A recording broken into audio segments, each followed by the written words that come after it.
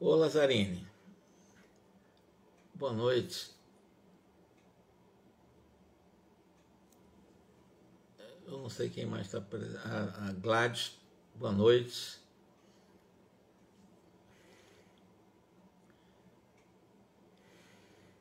Alice, boa noite. Paulette, boa noite. Alguns que eu estou conseguindo ler aqui.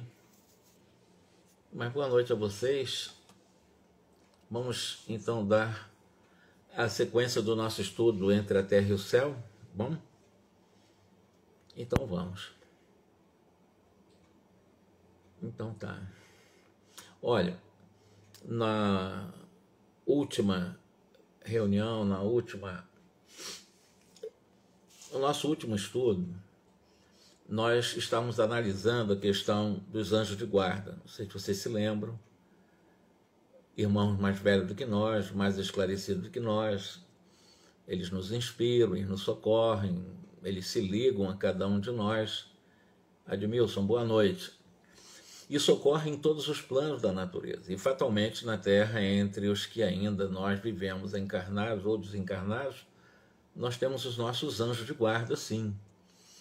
Isso nós explicamos a semana passada, a, a última reunião, foi na quarta, né? E paramos quando íamos analisar. Erlen, boa noite. Quando nós íamos analisar a questão dos gregos também, que eles sabiam e recorriam aos chamados gênios invisíveis, diz aqui o Clarencio. Tanto quanto os romanos compreendiam essa verdade, também cultuavam os chamados numes domésticos. O gênio guardião será sempre um espírito benfazejo para o protegido. Mas é imperioso anotar que os laços afetivos em torno de nós ainda se encontram em marcha ascendente para mais altos níveis da vida. Com toda a veneração que lhes devemos, diz o, ainda o ministro Clarence, é muito importante nós reconhecermos nos espíritos familiares que nos protegem, grandes e respeitáveis heróis do bem, mas ainda singularmente distanciados da angelitude eterna. O que ele está dizendo para nós, que os nossos anjos de guardas, os nossos espíritos protetores, os nossos espíritos familiares, e todos nós temos um, e às vezes até mais do que um, não são espíritos puros, são espíritos mais esclarecidos do que nós, são espíritos que têm a missão de cuidar de cada um de nós, quando um dia nós também teremos essa missão de cuidar de pessoas, de cuidar de famílias, de cuidar de comunidades, de cuidar de países. Isso vai acontecendo à medida em que nós vamos evoluindo. E a partir de país, de cuidar de um planeta, porque nós somos também deuses em letras minúsculas, porque nós somos co-criadores. Jesus, ele é um co-criador. Ele é, portanto, um anjo planetário. Ele é aquele que criou um planeta. Então, ele é um que co-criou com o Criador, por permissão de Deus, a nossa Terra. Isso aconteceu há 4 bilhões e 500 milhões de anos, e lá Jesus já era puro. Agora vocês imaginem o tamanho de Jesus a expressão de pureza de Jesus. Se há 4 bilhões de anos e 500 milhões de anos Jesus já era um espírito puro e já criador de planeta, porque ele é co-criador, ele realmente recebeu a permissão de Deus para criar a Terra. Imagine que há dois mil anos ele esteve entre nós. Ele é a nossa maior inspiração. Ele é tudo, ele governa o planeta. Ele determina, ele é que traça as diretrizes do nosso planeta. Ele é, podemos chamar de o anjo guardião de toda a humanidade, encarnada e desencarnada. Ele é o nosso sol. Agora, em nível mais baixo, nós temos os nossos anjos familiares, nossos anjos espíritos que estão ligados a nós durante muitas encarnações considerado pela espiritualidade superior como nossos anjos de guarda. Todos nós temos um anjo de guarda, invariavelmente. Isso é tão importante nós sabermos, porque aí nós começaremos a nos sintonizar com eles toda vez que nós estivermos lá embaixo, muito tristes, cabisbaixos, deprimidos, em momentos que nós estivermos mais infelizes, com tristeza, nos conectarmos com Ele através das técnicas da oração, da vigília, do compromisso de mudança de comportamento.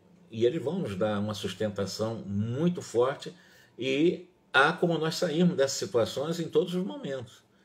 Naturalmente, esses espíritos avançam em linhas enobrecidas, em planos elevados, mas ainda sentem inclinações, paixões particulares no rumo da universalização dos sentimentos.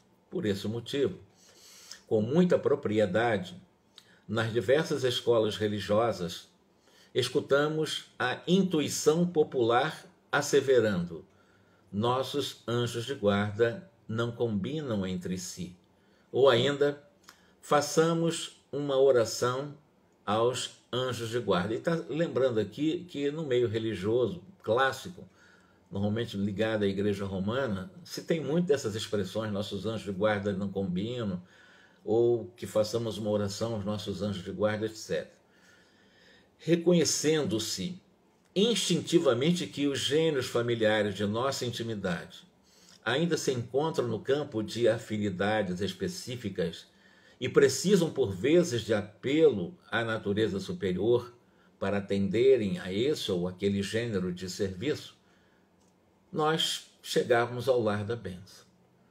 E os esclarecimentos do instrutor representavam-se em nossa alma por inesquecível preleção, compelindo-nos a grande silêncio. Aí chegaram lá na casa de Blandina. Porém veio até nós e perguntou ao Clarencio a Blandina, generoso amigo, podemos estar realmente convictos de que Júlio devia desencarnar agora? Perfeitamente. A lei funcionou exata. Não há lugar para qualquer dúvida.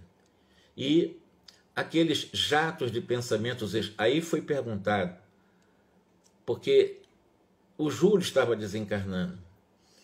Ou aquele nosso irmão Silva estava querendo o Mário, né? Estava querendo que ele morresse mesmo. Embora fosse ali um enfermeiro, mas ele estava com desejo de morrer para trazer infelicidade para Zumira, que teria sido a sua noiva, que tinha casado com o viúvo Amaro. E a pergunta que a Blandina está fazendo assim, ele tinha que morrer mesmo ou foi as energias densas, tóxicas do Mário que acabou acelerando a morte ou ele morreu por causa das energias negativas do enfermeiro? Essa é uma pergunta interessante, porque o enfermeiro queria a morte dele. E, embora tenha medicado, ele fez a medicação correta, o soro correto para a difteria. Mas ele desejava profundamente. Tanto é que quando o Amaro faz a prece, né, coloca o seu filho já ali, estava desencarnado praticamente, entregando para Jesus, ele ficou sentindo o pior dos seres humanos, saiu dali em desabalada carreira, se considerando até um assassino, foi para a cama e, e foi dormir de uma forma perturbada, inclusive a espiritualidade vai tentar ajudá-lo nesse momento. Aí a Blandina perguntou: e, esse, e, esses jatos de pensamentos escuros que partiram do Mário, como um envenenando o, o, o, o Júlio, isso não teria prejudicado e matado, no sentido assim, teria acelerado a morte dele? O Clarence explica o seguinte: se não estivéssemos junto dele, teriam efetivamente abreviado a morte da criança. E ainda assim, a lei ter-se-ia cumprida. Ou seja, olha, nós estávamos perto de Júlio. O pensamento negativo de Mário poderia acelerar a morte dele, sim, mas nós estávamos lá perto, ajudamos um pouco. Mas o Júlio morreu, o Júlio desencarnou.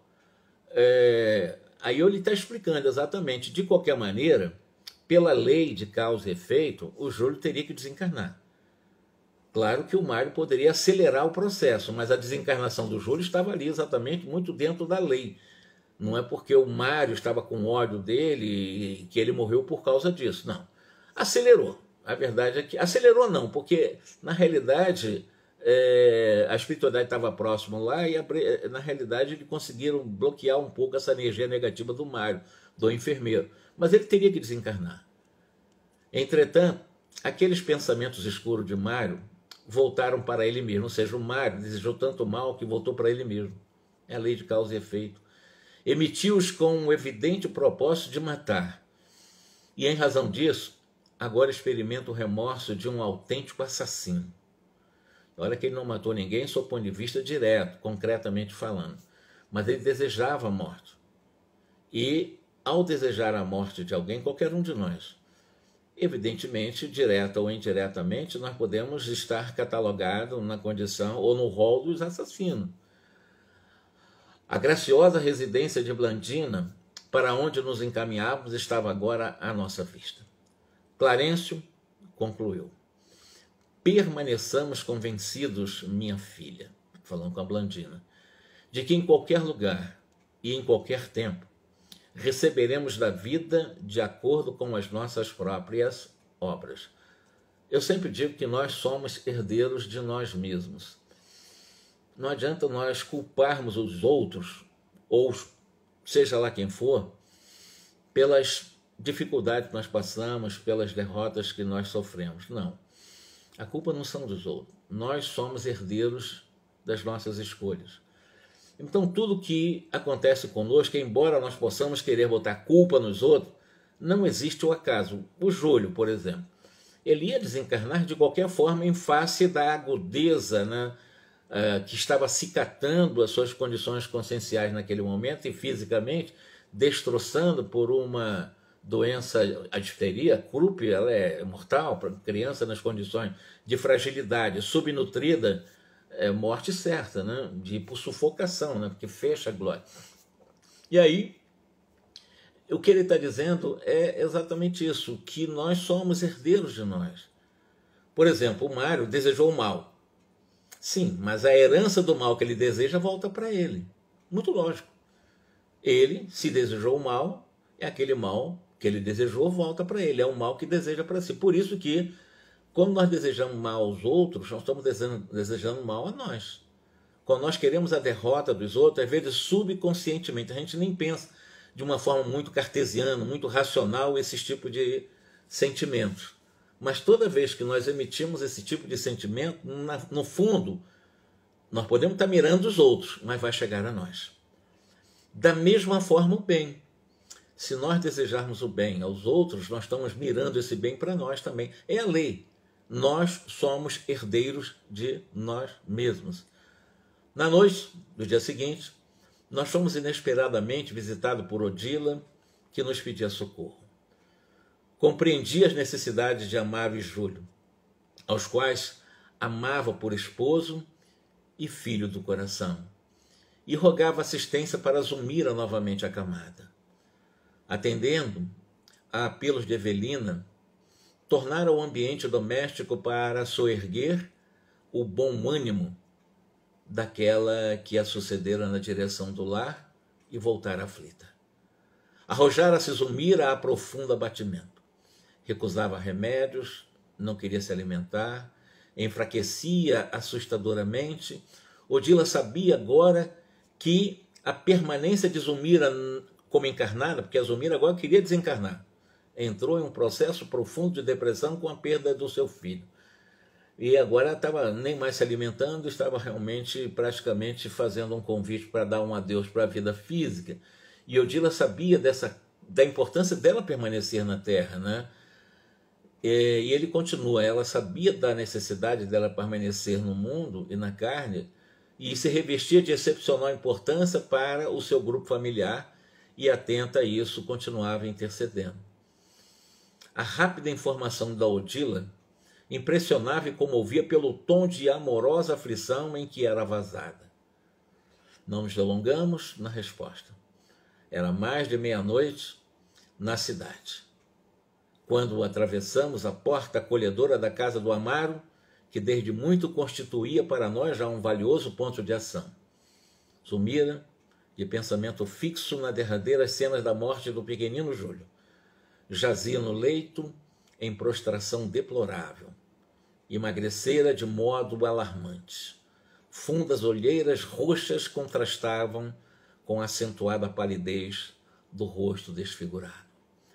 Recaíra na introversão em que a conhecêramos.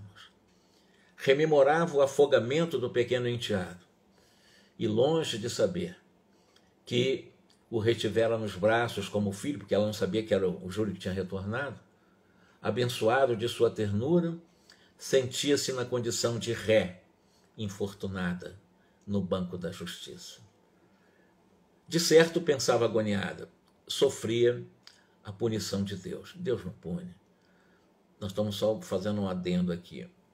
Na cabeça dela e de outros muitos religiosos, acham que Deus pune. Todos os processos de sofrimento oriundo das nossas escolhas erradas, no caso, ela está se cobrando em um processo autopunitivo, porque ela não se perdoou em função do afogamento do Júlio. E ela nem sabe que foi o Júlio retorna no seu ventre. E que agora o Júlio, depois da tifteria, depois da sua desencarnação, conseguiu drenar aquela chaga na glote e agora está limpo.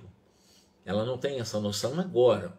Então ela estava agoniada, deprimida, querendo morrer, se culpando como uma assassina do Júlio, achando que o filhinho dela morreu, que era o próprio Júlio, que ela não sabia que tinha retornado, por causa da morte do Júlio afogado, porque ela foi relapsa. Aquela morte do pequeno, quando tudo fazia crer que ele cresceria para a aventura, para a felicidade de todos, correspondendo-lhe à própria expectativa, para ela era dolorosa pena imposta ao seu maternal coração. Ah, devia ter sido pronunciada perante o juízo da sabedoria celeste. No mundo, ninguém conhecia o remorso de guardiã invigilante e cruel, mas fora sempre mais fora sem dúvida identificada pelos tribunais de mil olhos do direito incorruptível. Não amparara convenientemente o filhinho de Odila, relegando a intencional abandono, agora perdi inexplicavelmente o rebento que lhe definia a esperança no grande futuro. Valeria erguer-se e disputar aquilo que para ela representava a dor de viver, a querer suicidar, na verdade. Reconhecia-se esmagada. O complexo de culpa tomara-lhe o cérebro e enfermara-lhe o coração. Reparamos que diversos medicamentos se alinhavam à cabeceira. Mas nosso instrutor examinou, auscultou a doente e informou: Olha só que, que coisa interessante o, o, o Clarence vai dizer agora. Ela está com uma pilha de remédio para tomar para ela sair dessa depressão. E o Clarence aproveitou esse momento para dizer o seguinte: o remédio de Zumira é daqueles que a farmácia do mundo não possui. O remédio de Zumira virá dela mesma. Precisamos refazer-lhe a esperança e o gosto de viver Descontrolou-se-lhe de novo a mente. Desinteressou-se da luta e a abstenção de alimentos. Tem acarretado a inanição progressiva. O reencontro com o filhinho, perguntou Hilário, seria uma forma de ela se recompor? Não seria o melhor processo de restaurar o bom ânimo? É o que esperamos, concordou Clarence. Todavia, Júlio, na fase que atravessa, requisita pelo menos uma semana de absoluto repouso até lá, é indispensável entreter-lhe as energias. Em seguida, Clarencio entrou em ação aplicando recursos magnéticos com o nosso humilde concurso, diz André Luiz. A tensão nervosa de Zumira, porém, atingiu o apogeu. E apenas conseguimos sossegá-la de alguma sorte sem conduzi-la ao sono preparador, reparador que seria de desejar. Odila, fortalecida, tomava aos seus cuidados. Quando nós fomos defrontados por um imprevisto fenômeno. Mário Silva, desligado do corpo, de alguma forma durante a noite, com a rapidez de um relâmpago penetrou o quarto de olhos esgazeado, à maneira de um louco contemplou a doente por alguns instantes e afastou-se. Volvemos a nossa indagadora atenção para o Clarencio que esclareceu sem sentença. Olha, é sabido que o criminoso habitualmente volta ao local do crime. O remorso é uma força que nos algema a retaguarda. E porque nos inclinássemos à procura do visitante inesperado, Clarencio aquietou-nos, recomendando: aguardemos, Mário voltará. Com efeito, Mário, depois de alguns minutos, regressou ao aposento, com a mesma expressão de dementado. Fixou a pobre enferma e dessa vez rojou-se de joelhos, exclamando: Perdão, perdão, pedindo perdão para Zulmira. Sou um assassino, sou um assassino. Levantamos-nos instintivamente com o propósito de socorrê-lo, mas tocado de longe pela nossa influência magnética, qual se for alcançado por um raio, o enfermeiro projetou-se para fora. Infortunado amigo, falou o Clarencio contristado. Sofre muito. Ajudemos a soerguer-se. Num átimo, ganhamos o domicílio de Mário. Então ele foi lá pedir perdão, totalmente enlouquecido, se sentindo um assassino, somente depois da prece do Amaro, e ficou mais, mais doido ainda, né?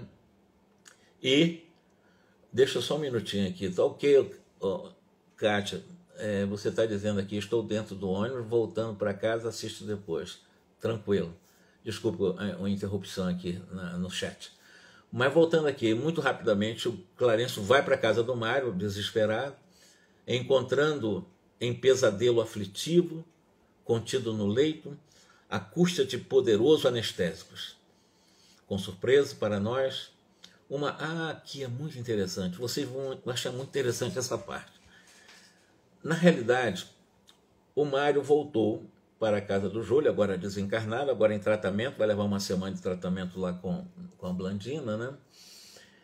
E ele foi, voltou para a casa do Amaro e muito desesperado, né? Durante a noite, evidentemente, semi-liberto do corpo pedindo perdão para ela, ele ficou angustiado, se sentindo um lixo, porque ele é enfermeiro, é para salvar a vida. Ele estava desejando a morte. E aquela, aquele culto que ele tinha participado também estava mexendo com a consciência dele, lá na casa da Antonina. E agora a surpresa vem aí. Quando o Clarencio, o André Luiz e o doutor Hilário vão até a casa do Mário Silva, eles encontraram uma freira. Isso mesmo, uma freira com trajes normais de freira, desencarnada, né, orando junto do Mário Silva. Então, uma freira na casa do Mário, tentando socorrê-lo. Interrompeu as preces, essa freira, a fim de saudar-nos, acolhendo-nos com simpatia. Estava certa, disse delicada e confiante, de que o nosso Senhor nos enviaria o socorro justo. Desde algumas horas, ocupa aqui o serviço de vigilância a posição do nosso amigo Mário é francamente anormal e temo a intromissão de espíritos diabólicos. Olha os termos. É uma desencarnada, é uma freira, está com trajes rigorosamente de freira, né, de religiosa, e ela fala: Poxa, eu rezei, chegaram vocês, os benfeitores, né? Os bondosos enviados de Deus estão aqui, vocês, no caso, os três. E ela começa dizendo né, que o Mário está numa situação de bastante angústia e a preocupação dessa anormalidade psíquica do Mário é a intromissão a partir da vinda de espíritos diabólicos. Termo dela.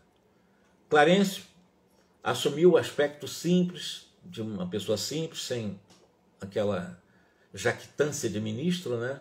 Vulgarizando-se ao olhar da religiosa. Se tornou uma pessoa comum aos olhos da freira que se sentia evidentemente encorajada com a nossa presença. O Clarence perguntou para a freira: Você é enfermeira? Não sou, propriamente do serviço de saúde, ela disse. Mas eu colaboro no hospital onde o Silva trabalha. Então é uma freira desencarnada que trabalha no hospital onde o Mário trabalha. Então ela olhou o Mário semi-adormecido e disse o seguinte: é um cooperador devotado, o Mário. Ele trabalha para as crianças doentes e a sua assiduidade carinho realmente nos traz também essa necessidade de socorrê-lo, porque ele trata as pessoas com assiduidade, com carinho. E na realidade o que eu estou fazendo aqui não passa do meu dever de ajudá-lo também. E numa linguagem genuinamente católica romana, diz aqui o André Luiz, a freira rematou: Muitas almas benditas têm descido do céu para testemunhar-lhes agradecimento. Olha só, nós estamos falando com uma. É, esse diálogo é com uma freira desencarnada que trabalha no hospital onde o Mário trabalha. A conversa dela é de uma freira, ela sabe que está desencarnada, mas ela não tem uma capacidade cognitiva de compreensão de vida após morte, tanto é que ela está falando, muitas almas benditas têm descido do céu para testemunhar o agradecimento. Ela está falando aqui de uma lógica de descer do céu. Ela não tem noção de colônias espirituais, de erraticidade, de plano espiritual. Ela sabe que está trabalhando, que ela já desencarnou, mas ela tem uma visão diferente de vida após morte. A verdade é essa. É uma freira. Trabalha no hospital, socorre, faz tudo que um espírito pode fazer, mas não tem consciência de realidade após a morte. Olha só que coisa interessante.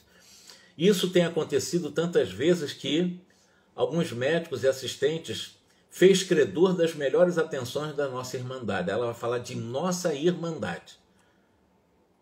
Usando o tato que lhe era característico, nosso orientador, o, o Clarencio, perguntou o seguinte: como é que a, a nossa irmã soube que o Mário se achava assim tão perturbado? Como é que você soube? Como é que você veio para ajudá-lo? Ele ficou perturbado exatamente naqueles instantes, porque nesse instante o Júlio desencarnou. Nesse instante ele volta para o corpo, ele vai dormir na realidade. Né? Ele vai dormir com a consciência pesada, depois que o Amaro entregou o Júlio para a vida espiritual. Ele ficou muito arrependido, com remorso muito grande, voltou para casa, foi dormir à base de remédio, sai do corpo, entrou, ficou igual um louco, volta lá para o local e depois volta, depois retorna de novo para pedir perdão para Zumir, etc. Então está numa confusão muito grande, se cobrando um remorso muito grande. E o Clarence perguntou para essa freira que estava atendendo ele como é que ela soube que ela está, ele estava nessas condições. E não recebemos qualquer notificação direta, diz ela. Contudo, ele não compareceu hoje às tarefas habituais. E isso foi suficiente para indicar-nos que algo de grave estava acontecendo. Então, ela, como freira, espiritualmente falando, ela estava no mundo espiritual, ela só estava ali não por conexões mentais telepáticas, não. Houve uma lógica em termos circunstanciais do qual ele não estava no hospital. Por ele não ter ido ao hospital, ela achou, né, o grupo dela, né, da comunidade dela, da irmandade dela, pediu, ou ela mesmo decidiu ir para ver o que estava acontecendo com ele. Então não foi porque sabiam que ele estava passando por isso. Sabiam que ele tinha algum problema, porque ele não estava no hospital. A nossa superiora, olha outro termo usado pela freira, a nossa superiora designou-me para verificar que havia. Então ela está dizendo que trabalha numa irmandade de freiras, de pessoas ligadas ao catolicismo, num hospital, no mundo espiritual, e essa comunidade de religiosas tem uma hierarquia. Ela vai falar de uma superiora que pediu para que ela fosse ver o que estava acontecendo com o Mário, mas veja, ela não tem consciência de vida espiritual.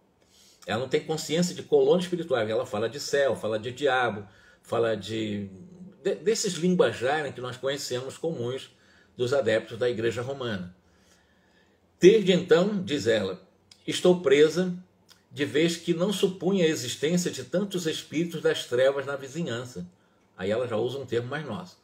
A palavra da freira saturava-se de tanta bondade e evidenciava uma fé tão pura, tão encantadoramente ingênua, que a curiosidade me espicaçou o íntimo de André Luiz. Opa, tem uma coisa que eu tenho que perguntar o que está acontecendo aqui, porque ela não tem consciência de realidade de vida espiritual mas ela tem, ela tem consciência de que está desencarnada, está exatamente num grupo de religiosos, do qual tem a sua chefe, e que trabalha com os paramentos religiosos e etc, etc, da mesma forma como se, faz, como se estivesse fazendo como encarnada.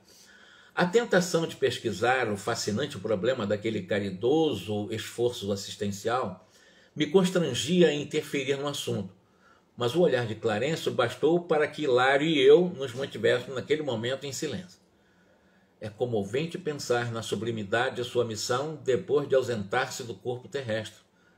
Olha só, é sublime, é interessante, é comovente pensar na sublimidade de sua missão, falando de espírito para espírito para freira, né, da sua missão depois que você desencarnou. Falou o ministro bondoso, talvez provocando alguma elucidação direta capaz de satisfazer-nos. Sim, diz ela, a freira. Nós trabalhamos sob a direção de Madre Paula, que nos explica ser a enfermagem nas casas públicas de tratamento uma forma de purgatório benigno até que possamos merecer novas bênçãos de Deus. Então, ela está falando de vida espiritual, tá, certamente isso aqui está é, falando de uma santa casa, né, que a gente chama da Santa Casa de Misericórdia, onde existem muitos grupos católicos, muitas freiras desencarnadas, com essa ordem nessa organização, e ela vai dar o nome, inclusive, da sua, da sua chefe, que é a Madre Paula, e mas dentro do ritual católico. Embora ritual que eu digo das crenças católicas no trabalho de frente, no trabalho hospitalar. Então tu tem uma freira, uma madre superiora, tu tem as outras freiras que obedecem, trabalhando numa casa de misericórdia como se ainda nas necessidades do trabalho sem o descondicionamento imediato da condição de religiosos que foram, como católicos. E não tem uma noção, opa, agora eu sei o que está acontecendo no mundo espiritual. Não. Aos poucos, conforme que eles vão trabalhando, eles, ali ela vai dizer que aquele hospital ou aquela Santa Casa de Misericórdia para ela, né, é, é como se fosse exatamente um processo purgatorial, né, benigno, que ela usa o termo, né, para que mais tarde eles possam ir para lugares melhores. Então eles estão, digamos, presos no sentido positivo, né, estão ali vinculados a um trabalho numa Santa Casa Misericórdia, com todos os paramentos religiosos, sem perderem as condições dos chamados hábitos mentais de católicas, que são, agem como católicos, com crenças católicas, acreditando tudo que o catolicismo ensina, dentro daqueles dogmas. Nesse caso, elas estão esperando uma ascensão para um lugar é, diferente, porque ali elas estão se sentindo como em processo purgatorial. Sei que desencarnei, eu sei, sei que morri, Estou em um processo de, vamos chamar de reparação, de purgação mesmo, né? como fosse um purgatório. Não estou no céu, não estou no inferno, estou no purgatório, vamos dizer assim. Isso é bom para mim, que eu estou trabalhando aqui, eu estou socorrendo, eu estou fazendo um trabalho que ela fazia antes. Desencarnou e continuou fazendo, mas sem perder os hábitos religiosos. Mas, irmã, vê-se de pronto que o seu coração está comungando a paz do Senhor. Ela baixou humildemente os olhos, ponderou e disse o seguinte para Clarence: Eu não penso assim. Eu sou uma pobre religiosa em trabalho para resgatar os próprios pecados, termo dela. Então, eu sou uma pobre religiosa em trabalho numa Santa Casa Misericordiosa, em um processo de drenagem dos erros que eu cometi, como um purgatório, do qual, como um pobre religiosa, eu estou para resgatar os próprios pecados. Palavras dela: resgatar os pecados ou seja, sanar os pecados em um porque o purgatório é para isso, é para ir drenando os pecados dos pecadores, dentro da visão dela. No leito, Mário gemia inquieto. Clarencio pareceu despreocupar-se da palestra de ordem pessoal e passou a afagar a fronte do enfermo, dando-nos a ideia de que só ele devia atrair-nos o interesse.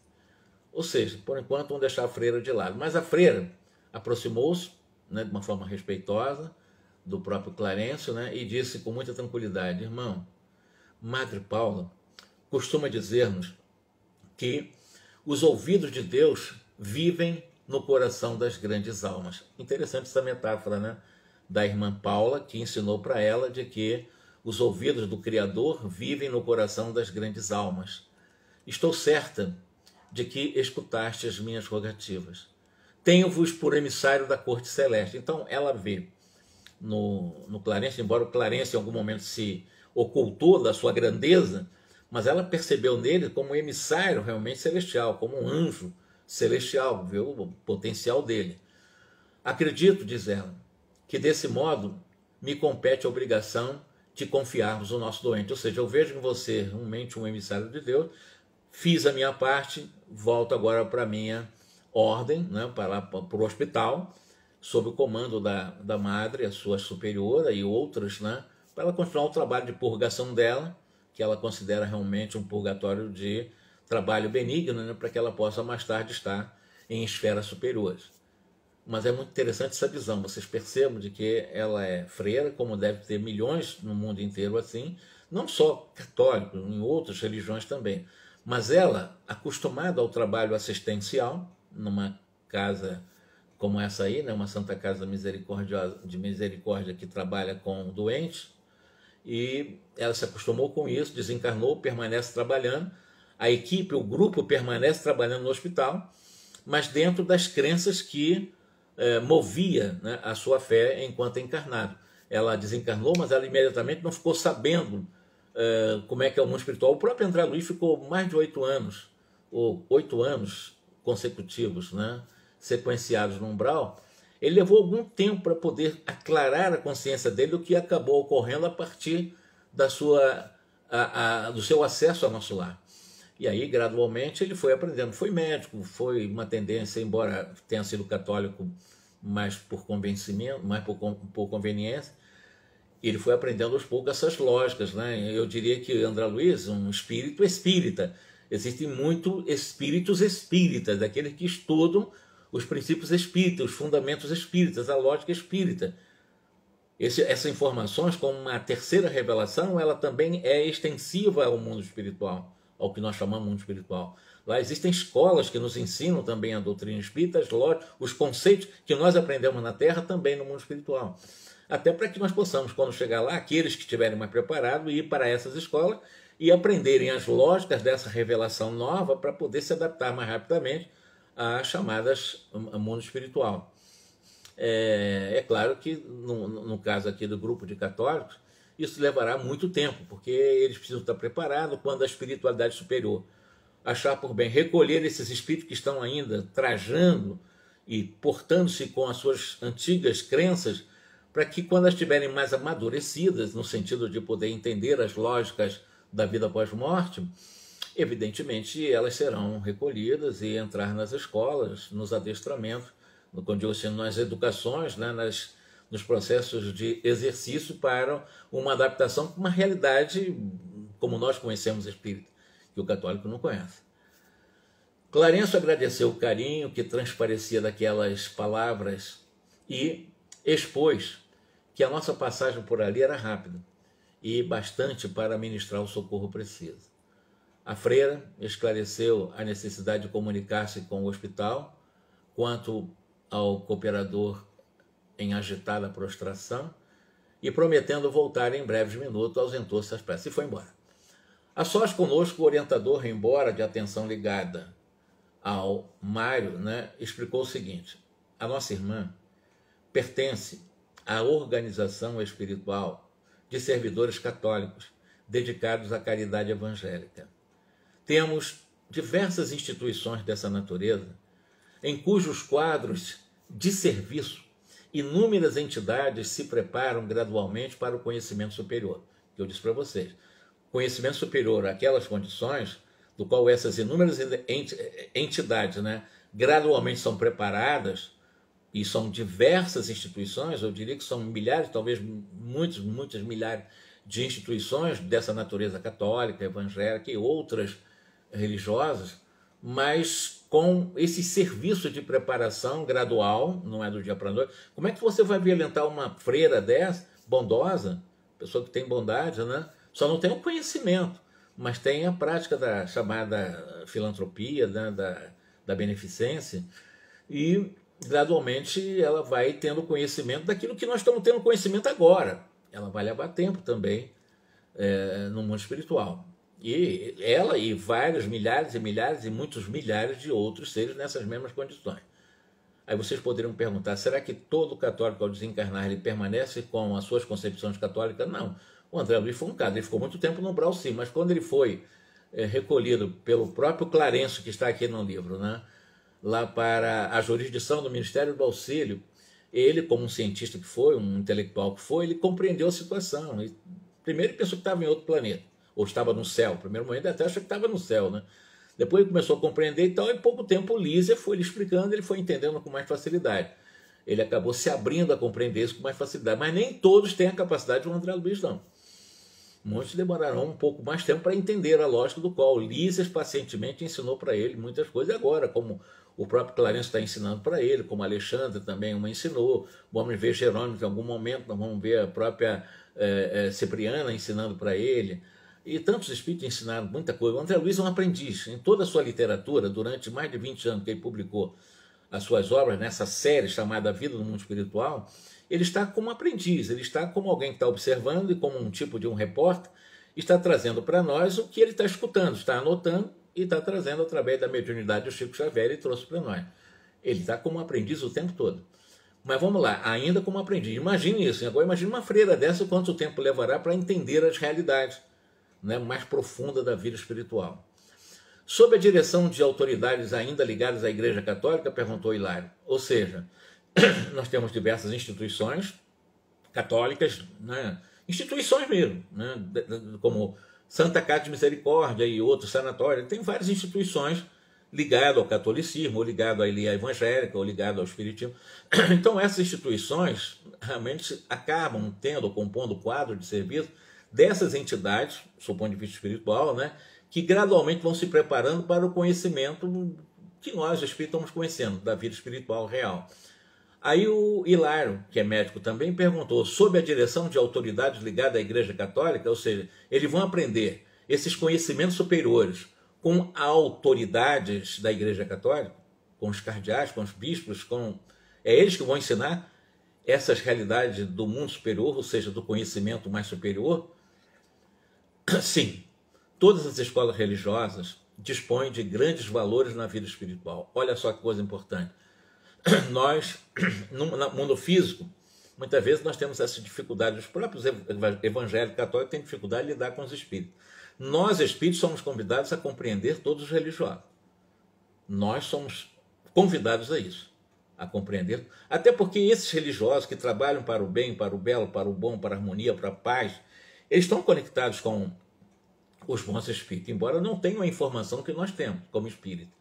Então, essas instituições de orientação é também transmitida nessas né, escolas religiosas, né, de grandes valores de pessoas que foram ligadas de alta hierarquia da própria religião, da própria eh, no mundo espiritual. Nós vamos ver, por exemplo, no livro Missionários da Luz, é, um padre, uma enfermeira, o André Luiz e mais a figura do Jerônimo é, fazendo, um, compondo aqui uma expedição para trabalhar cinco desencarnações na Terra, obreiro da vida eterna, melhor dizendo.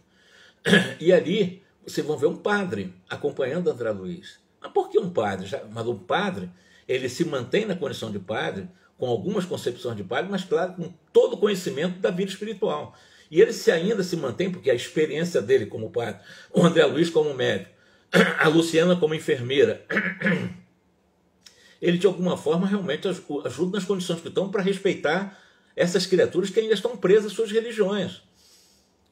É muito importante, então, ter a presença dessas, assim, desses seres ainda com essas experiências religiosas. Um padre, uma freira, e assim vai. E outros ainda existem hindus de outras culturas. Assim vai. Nós estamos dentro da cultura ocidental.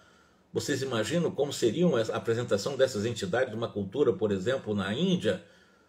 Eles vão se apresentar dentro e obedecendo às culturas hindus. Nas colônias, chamadas colônias transitórias, dos nossos lares de lá, evidentemente estão dentro dessa cultura, não, há uma viol... não, não haverá uma violência, até porque a questão linguística é muito importante nisso. É, em nosso lar, não vamos ver isso, por exemplo, há uma visita em que algumas entidades vão até a Europa na época da Segunda Guerra Mundial, não conheciam muito o inglês, mas sabiam outros espíritos que conheciam o inglês traduzindo para português. A dificuldade de comunicação de um alemão, por exemplo, que se for vítima da guerra e tal, e ser recolhido para nosso lar, como é que ele vai se adaptar não conhecendo o português, por exemplo, porque o nosso lar está ligado à, à, à vida da nacionalidade brasileira aqui, está ligado ao Rio de Janeiro, a região do Rio de Janeiro, mas a vida nacional, uma das colônias, ligada ao Brasil, existem várias. Mas a forma de comunicação lá ainda é a linguagem, ainda através da oralidade, não é pela força simples da troca de energias de amor puro em que ele se comunica por telepatia, não a palavra é importante, é dita. Então, chegar um alemão em nosso lar, ou um brasileiro chegar na Alemanha, numa das colônias lá, vai ficar perdido em função de não saber a língua alemã. Isso também é uma das dificuldades nesses primeiros momentos após a desencarnação. Isso vale para as religiões, vale para as culturas, vale para as crenças, vale para todas as formas de vida humana. Não há uma violência quando há desencarnação dos seres que desencarnam. Não, agora você vai ter todo o conhecimento da vida espiritual. Não será assim com ninguém. Até com os espíritas mesmo que não estudam vai ter dificuldade de entender essa realidade. Por isso que o estudo é importante, a informação. Sim, Todas as escolas religiosas dispõem de grandes valores na vida espiritual. Como acontece a personalidade humana, as crenças possuem uma religião clara e luminosa e uma outra ainda obscura. Então existem essas condições. Como acontece a nossa personalidade, as crenças possuem uma região clara e uma região ainda obscura. Em nossa alma, a zona lúcida vive alimentada pelos nossos melhores sentimentos. Enquanto que no mundo sombrio de nossas experiências inferiores habitam as inclinações e os impulsos que ainda nos encadeiam à animalidade.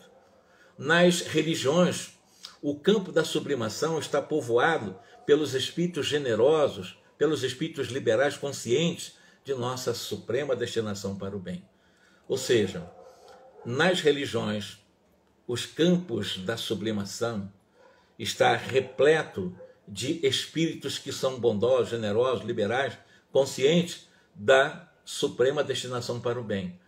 Ao passo que nas linhas obscuras da ignorância ainda enxameiam as almas pesadas de ódio e egoísmo. E sorrindo, o ministro acentuou o seguinte: achamos-nos em evolução. E cada um de nós respira no degrau em que se colocou. Ela, porém, terá penetrado o verdadeiro, ou pelo menos terá penetrado, perguntando agora né, para o doutor Ilene, não falando chamado de doutor Clarence, que é o ministro Clarence, né, se ela terá penetrado a verdade com que nós fomos surpreendidos depois da morte, foi perguntado pelo André Luiz. Cada inteligência, respondeu o ministro, só recebe a verdade na porção que ela pode compreender. Como é que você vai jogar tanta informação no espírito uma pessoa que viveu o catolicismo o tempo todo? É perder tempo. Ela não vai conseguir entender isso. Eu estou dando um exemplo, serve para todos os exemplos. Materialistas, pessoas que estão ligados a nem aí para o espiritismo, embora se diga o espírito, vão ter dificuldade de entender, porque o espiritismo não se aprende do dia para a noite. O espiritismo é uma encarnação inteira ou várias encarnações para conhecer o espiritismo, essa nova revelação. Vamos lá, continuando, ele diz assim: cada inteligência só recebe da verdade a porção que pode reter. Isso é óbvio. Quanto mais eu me informo, mais eu tenho capacidade de reter várias outras informações. Quanto menos estudo, menos capacidade tenho de reter outras informações. Quem não estuda fica alheio, fica na margem, infelizmente ou felizmente, vai ser convidado a estudar mais. Não ignorava que o meu dever de assisti-lo era trabalhoso, era trabalho inadiável. Todavia, o encanto espiritual da religiosa, singularmente arraigada aos hábitos terrestres, me excitava de tal maneira a curiosidade que eu não pude conter a indagação espontânea. Mas essa freira, ela sabe que deixou o mundo, sabe que desencarnou e prossegue assim mesmo como se via antes? O que Clarencio diz? No caso dessa freira, sabe já está morta e tal? Sabe, ela sabe, ela sabe realmente que está desencarnada. E estará informada de que a vida se estende a outras esferas? Perguntou aí o André Luiz. Então ela vai ser informada de que a vida continua após a morte? receberá ou perceberá, ela vai conseguir perceber que o céu ou o inferno começa em nós mesmos, e não existe esse negócio da teologia. O Clarencio meneou a cabeça, dando mostra de negativo, e acrescentou: Isso não. Ela não oferece a impressão de quem se libertou do círculo das próprias ideias para caminhar ao encontro das surpresas de que o universo transborda. Mentalmente, ela revela-se adstrita às concepções que elegeu na Terra, como sendo as mais convenientes à própria felicidade, ou seja, ela se encontra, ela acha que nesse momento está no purgatório, essa é a verdade, mas com condição de trabalho. E ninguém a incomoda aqui por viver assim, distante do conhecimento real do caminho, já que ela é um espírito. Clarence explicou o seguinte: antes de tudo, deve nossa irmã merecer-nos a maior veneração pelo bem que pratica. E quanto ao modo de interpretar a vida, nós não podemos esquecer que Deus é o nosso Pai. Com a mesma tolerância dentro da qual ele tem esperado por nossa mais elevada compreensão, aguardará um melhor entendimento da nossa amiga também. Cada espírito tem uma senda diversa a percorrer, assim como cada mundo tem a rota que lhe é peculiar. E fixando-me em particular a atenção, observou: a maior lição aqui, André, é a da sementeira que produz de alguma forma de maneira inevitável. Mário Silva, na posição de enfermeiro, não obstante a ruinosa impulsividade em que se caracteriza, tem sido prestimoso e humano, tornando-se credor do carinho alheio. Segundo vemos, não é um homem devotado às líderes religiosas. É irritável, é agressivo, de ontem para hoje chega a sentir-se criminoso. Entretanto, é correto cumpridor dos deveres que abraçou na vida e sabe ser paciente e caridoso no desempenho das próprias obrigações. E com isso, ele acabou granjeando a simpatia de muitos e encontramos-lo fraternalmente, guardando por uma freira reconhecida. E aí, evidentemente, ele continua. O ensinamento era efetivamente comovedor, dispunha a prosseguir o comentário, André Luiz vai dizendo, e o ministro, inclinando-se para ele, demorou-se por longo tempo, e em seguida Clarence reergueu pobre amigo. Permanece impressionado com a morte de Júlio, conservando aflitivo complexo de culpa. Eu vou entrar nessa parte agora do Mário, porque aí eu estou com menos de sete minutos para encerrar. Aí vão entrar outros detalhes agora na figura do Mário. Vimos aqui a questão que acrescenta nossas informações sobre a questão religiosa, a questão de freiras, padres, bispos, outros sacerdotes, que ao desencarnar permanecem em instituições próprias, do qual eles ali procuram, de alguma forma, permanecendo seus trabalhos, sem consciência de realidade. Ainda alimenta a questão de inferno, ainda alimenta a questão de céu, ainda alimenta a ideia de purgatório, ainda alimenta a ideia de demônio, alimenta a ideia de anjos, de céu, etc. Então, essas coisas não se mudam do dia para a noite. Não há possibilidade de você chegar, não, isso não acontece. Nós, eu pelo menos já estou há mais de 45 anos estudando Espiritismo, quanto tempo nós levamos, as informações o tempo todo, o dia todo, a gente vai aprendendo, aumentando a nossa capacidade cognitiva, o nosso mapa de aprendizado é, vai ampliando e nós temos uma capacidade de entender isso com mais facilidade. Eu vou chegar com uma católica que viveu a vida inteira essa aí, vou chegar a tentar mostrar essa verdade, não vai alcançar essas informações com facilidade. Isso é com o tempo, é gradual. Mesmo desencarnados continuam trabalhando, sim, ainda que se sentindo no purgatório, outros no inferno, outros supostamente achando que estão no céu, mas tudo vai ao pouco melhorando. É claro que aqueles que vão se achar no céu é, vão ter uma consciência maior, evidentemente, vão ter uma visão de que não é bem o céu, mas que eles estão bem com ele, porque não depende do rosto religioso as pessoas irem para as esferas superiores. Claro que não, existem católicos maravilhosos.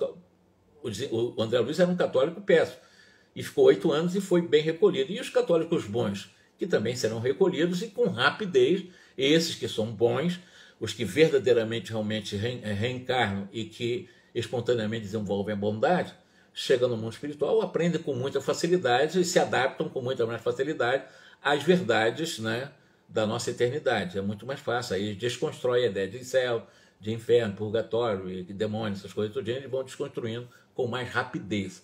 Mas para cada caso é um caso.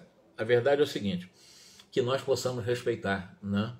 que nós possamos respeitar os nossos irmãos de todas as religiões, orarmos uns pelos outros e que nós possamos permanentemente irmos nos preparando, porque o conhecimento é um convite para que nós possamos permanentemente estar em um processo de mudança de comportamento para chegar no mundo espiritual estar muito mais bem preparado para novas informações, novas revelações e estarmos permanentemente à disposição no trabalho no bem, em nome de Deus, não é isso?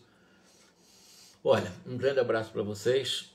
É, Quarta-feira que vem nós vamos dar agora mais ênfase à questão do Mário, que é o nosso objetivo. Foi falar da, da, da freira, levamos um tempo maior, mas agora vamos falar do Mário. O Mário está se sentindo um lixo porque ele queria matar e o menino morreu mesmo, mas o menino agora está limpo, o Júlio, né?